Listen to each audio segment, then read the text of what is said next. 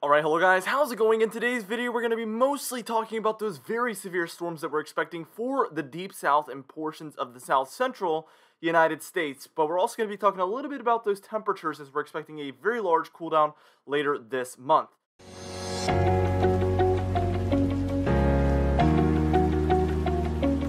Now for today's comment of the day, I want to know, when do you think our next severe weather event is going to be? Let me know in the comments down below, and I'll be picking one of those for tomorrow's video.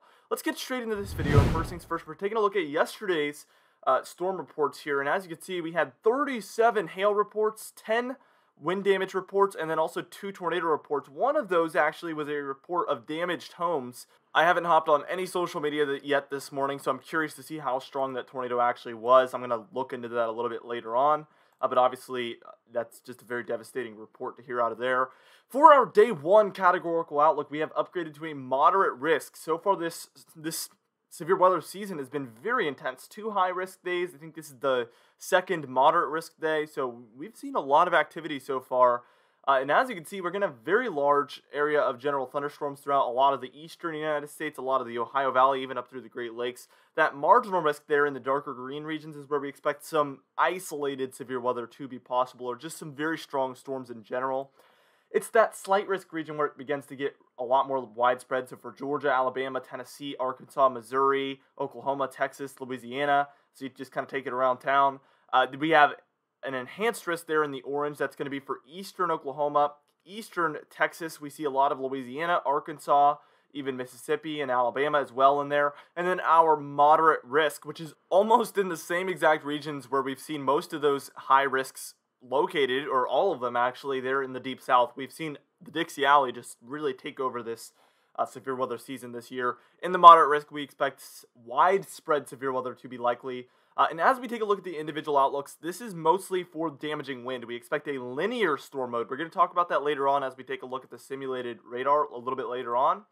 But this wind damage is the biggest threat with that. So we're taking a look at a 5% chance of damaging wind within 25 miles of a given location there in the green shades, a 15% chance there in the yellow, a 30% chance there in the red, and then a 45% chance there in the pink.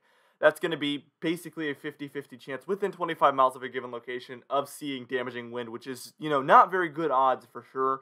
We see that hatched area there within the red and pinks. That is where we're expecting significant damaging wind to be possible uh, throughout the day and night to night, mostly the night to night actually. So I'll be talking a little bit about that as we take a look at the simulated radar later on. For that day one hail outlook, you can see it's a little bit less of a hail day. We see 5% chance there in the green, a 15% chance there in the yellow, and then we have a red area, the 30% chance there for Louisiana, Arkansas, Oklahoma, and Texas, so mostly on the western end there. And we do have a significant hatched region there as well, indicating that there is a possibility for 2 inch diameter hail or more within that region. Mostly a wind day, but on the western end there will be a bit of a, a hail risk as well for sure, and then a very slight hail risk for most regions. Now what we're going to do is we're going to move on and we're going to talk about that tornado threat in just a moment.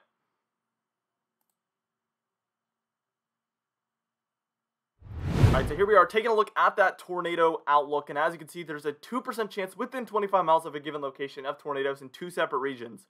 One there for Virginia and North Carolina, and then the other is in our moderate risk region there for Texas, Oklahoma, Arkansas, Tennessee, Mississippi, Alabama, and Louisiana as well. Then we have a 5% chance there in the brown for Oklahoma, Texas, Arkansas, Louisiana, Mississippi, and Alabama. And then a 10% chance for most of that moderate risk region there for Arkansas, Louisiana, and Mississippi. So as you can see, this is actually not expected to be a, a, huge tornado day. We're not really expecting supercells as much as we're expecting a linear storm mode. So typically, there is a chance of tornadoes, and we will likely see a tornado or two, or maybe more. Uh, but we're not expecting, you know, 50 plus tornadoes today, or even 20 plus tornadoes today. That would be very surprising if we saw that amount. You're still going to want to pay attention, but we are not expecting a tornado outbreak by any means throughout the day today. There is a little bit of an elevated chance there for sure, though. Regardless of that tornado risk, I highly recommend you have a NOAA radio handy. We have one of those available in the link down below. I always recommend somebody have those handy, obviously. Uh, and you're just going to want to pay attention to those warnings that are going on. I mean, it's going to be overnight, so a NOAA radio is going to be the best way to go. Uh, but really, really, uh, you're going to want to pay attention because tornadoes are possible basically in any thunderstorm. Uh, it, it happens. Odd things happen. So you're going to want to pay close attention because there is a chance today. For those temperatures for today, we're going to get right into the model guidance. We're going to be in the mid to upper 70s for most of these severe weather regions, upper 60s in some spots, but mostly 70s.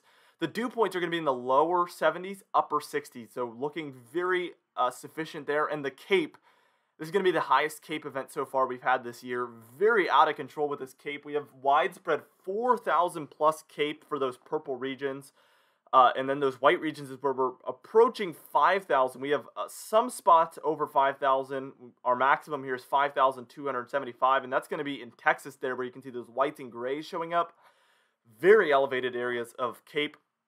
Uh, widespread uh, 3,000 plus there in the reds. You can see pretty much 3,000 throughout Texas, Louisiana, Mississippi, Alabama, Arkansas, Tennessee, and even up in through Missouri. So this is what we call CAPE or convective available potential energy, and this is really what thunderstorms use to grow further and intensify further. Uh, it's like thunderstorm food. So when you have this much CAPE available, you expect very intense storms to be very possible. Our shear is going to be actually quite sufficient. We have about 60 to 100 showing up here, maximum of 93, uh, which is going to be on the higher end of things for sure. Now, what we're going to do in a moment is take a look at that simulated radar and just walk you through that because we want to take a look at what storm mode we can expect uh, mostly with this and, and the timing of everything as well. Now, I wanted to let you know I did make a Patreon post today about the extended range of severe weather, talking about next week some of the severe weather we expect in the longer, medium to longer range uh, I talked about on that Patreon post. I went very in depth. That's as of this morning. So if you aren't a part of that Patreon, you should do so. You can become a patron for a very low price of three dollars. Uh, and, and join that today and get access to those very in-depth posts. I highly recommend you do so. We're going to be talking about that extended range of severe weather over there. Now, by about 2 p.m. today, you can see there is some showers and thunderstorms around, but this is not necessarily our severe weather at this point. Uh, we're going to have to move towards about 7 p.m. to see some of those thunderstorms really getting underway here. Uh, and they're going to be all over the place. And really, this is pretty much why I think we didn't have a high risk today. mostly also because we don't have a very high end parameters for tornado or any other threat. It's basically just a wind threat today.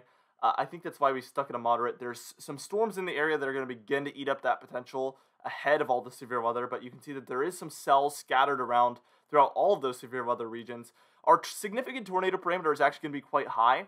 Uh, we see a 13.53 uh, as the maximum here, and that's going to be in Texas somewhere, but we do see those pinks widespread. Same story by the time we're reaching about 10 p.m. here. Uh, we see pinks all over the place with a 19.49 as the maximum.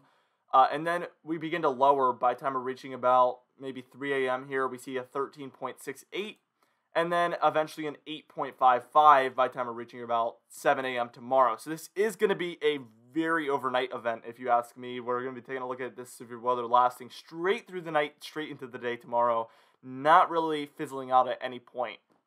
Now, by the time we're reaching 12 a.m., we're just getting underway here.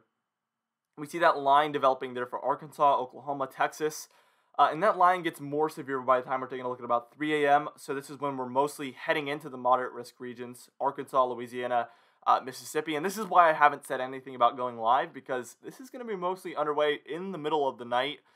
Um, and I don't know if I'll be alive any point today. I might go live tonight just to talk about it, but I'm not going to be live at 3 or 4 or 5 a.m. You guys would be pretty much hearing a very sluggish zombie version of me it wouldn't be very fun or very pretty. Uh, so that's probably not going to happen. But I might go live tonight, later this evening, and just talk about the upcoming severe weather event a little bit more in depth and taking a look at the current conditions with you guys. So be on the lookout for that this evening. Uh, by the time we're taking a look at about 7 a.m., you can see these storms are still underway here. Mississippi, Louisiana, Alabama. These are this is still a lot of our moderate risk regions. So between 3 and 7 a.m., I think is the biggest risk for severe weather tonight. So I mean, that's mostly when that moderate risk is being, uh, you know, verifying at this point.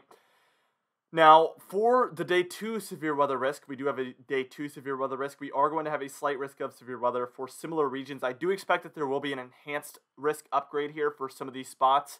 This is just going to be a continuation throughout the morning tomorrow into the afternoon of those same severe storms, mostly a wind risk again. Let's go over those individual risks real quick.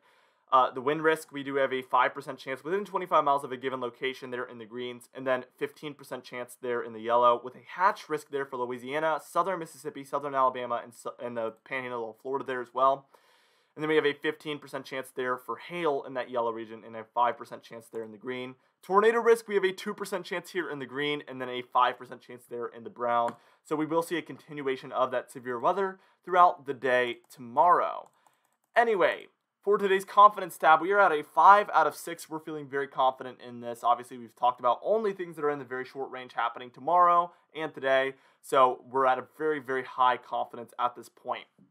Anyway, for today's comment of the day, I asked you guys, how do you think the rest of April is going to go? And Luke Fistler said April will be slightly above average for the eastern U.S. with cooler than normal temperatures arriving in the latter half of the month. And that certainly appears to be the case we're going to see a big warm pattern for the next few days, the next little while, and then cold temperatures eventually as we're reaching the second half of the month. It's going to be very interesting to see how this month plays out overall because it looks like it's going to be all over the place. Anyway, for today's patron highlight of the day, I want to thank you all for supporting the channel, but especially our platinum patrons Property Damage, John Benbenek, James Wade, Dovi Nagel, Alan Balemo, Adam S., Larry LePan, Donna Carnes, Cameron Marshall, and Ada Mattis alongside our diamond patrons Bill Roberts, Alan Cherry, Marcus Connolly, Noah Harley, Michael Codalesa, Michael Buell, Catbite, Charles Stinnett, Kellen Manhart, It's Jay, Cindy Klein, Mark J, Luke Falego, Gary's, and John Quilisi. If you would like to be a part of that Patreon end screen today, you can do so by joining our very exciting Patreon page, gaining access to that post that we posted today, like I said, uh, and just other exciting things over there. So I hope to see you guys over there on that, you know, Patreon page. For today's for today's channel membership of the day, I want to thank all of our channel members but especially our Weather Top Dog, Hair Farms 1, and then our super fan, Phoenix Nimitz. You can join our, obviously, our channel membership as well here by clicking that button next to that subscribe button. Anyway, guys, thank you so much for watching this video. Be sure to destroy the like button. Be sure to comment to help that algorithm out. Be sure to subscribe if you like weather-related content, and I will see you guys in the next video.